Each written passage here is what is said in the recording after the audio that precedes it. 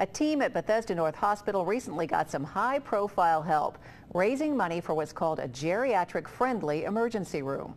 Medical reporter Liz Bonis asks the experts at TriHealth to tell us more about it in today's Medical Edge.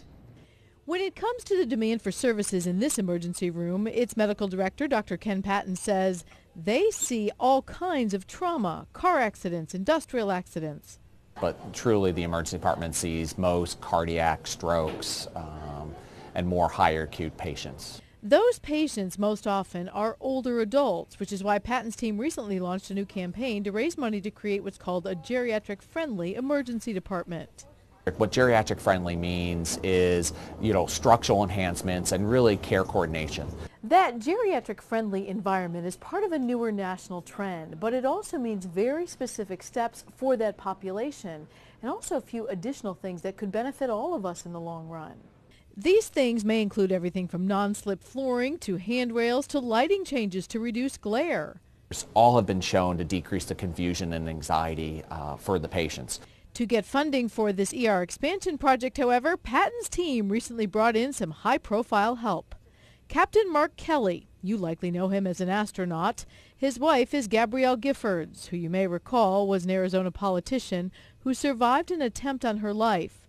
She has made a dramatic recovery.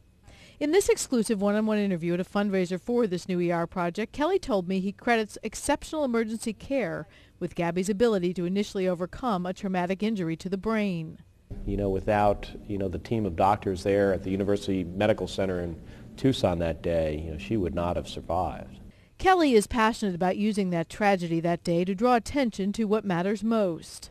Well, it makes you realize that things can change drastically in an instant you know, we really want to make a positive difference and take, you know, a, a pretty horrific thing that happened to her and her constituents and her community, and if at all possible, maybe turn it into a positive thing. He told me it's not there for him yet, but supporting the mission of this geriatric-friendly emergency department under Patton's direction brings him closer to his own mission as well. Fortunately for us and, and for Gabby, she survived and is working really hard to make a comeback. At Bethesda North Hospital in Montgomery, Liz Bonis, Local 12 News.